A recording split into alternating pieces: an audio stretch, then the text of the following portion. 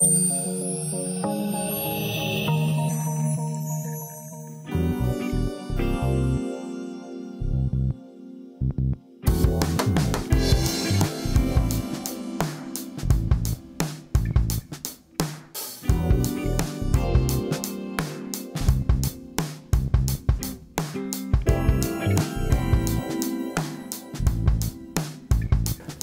following spare part is available to exchange UV reactor.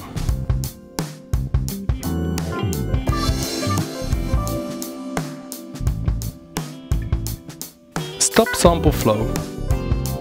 The exchange procedure of the UV reactor is menu guided.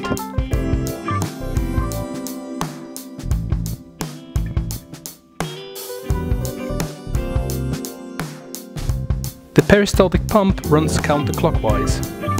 Enter yes for the count to be reset to zero.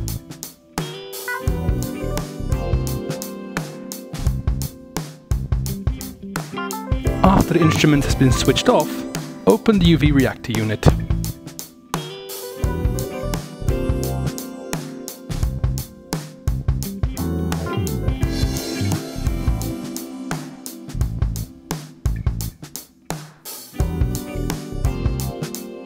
Unscrew both clamps of the reactor holders and open them.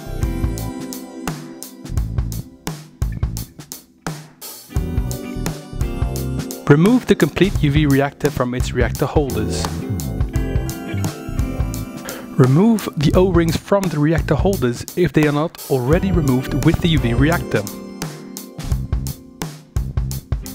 Put the O-rings into the balls which serve as the sample in and outlet of the reactor holder.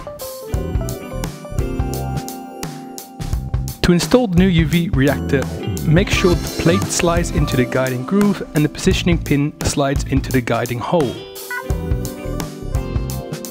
Carefully push the UV reactor into the contact sockets.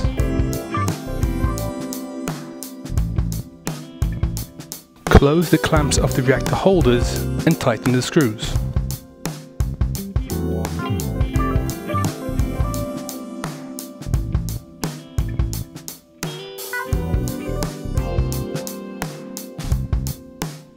Switch on the main power supply.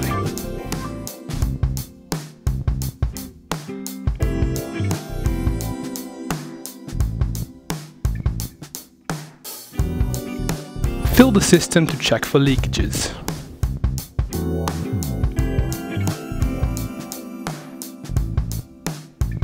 If there are no detectable leakages and the lamp has turned on, close the reactor chamber.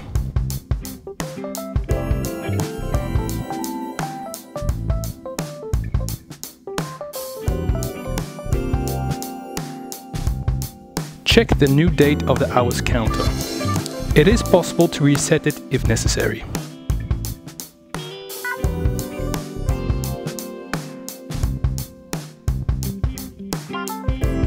The system suitability test is only available in the measuring mode Pharma.